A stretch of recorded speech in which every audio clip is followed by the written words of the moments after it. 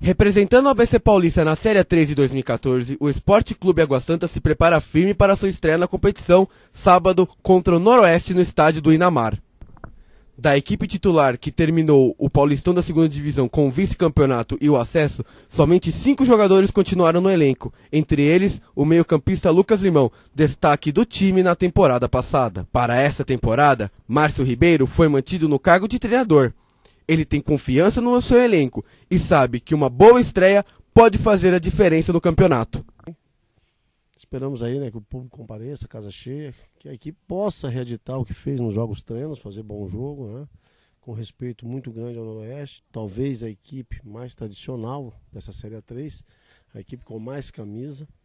E, independente de qualquer coisa, sempre monta grandes equipes. Entrar em campo, tentar definir o jogo, tentar fazer os três pontos a todo custo para iniciar bem a competição. Outra peça-chave do meio-campo do Água Santa no ano passado, o experiente Ricardo sabe que uma boa estreia diante da torcida pode dar confiança à equipe. Jogar dentro de casa, diante da, da torcida, estreia.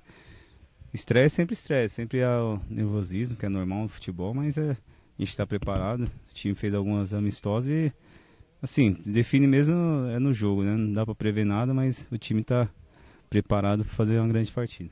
As arquibancadas do estádio de Neymar estarão lotadas nesse sábado às 10 horas da manhã. Tudo isso porque o Esporte Clube Água Santa finalmente estreia no Campeonato Paulista Série 3 depois de três meses de espera. O adversário é o Esporte Clube Noroeste de Bauru.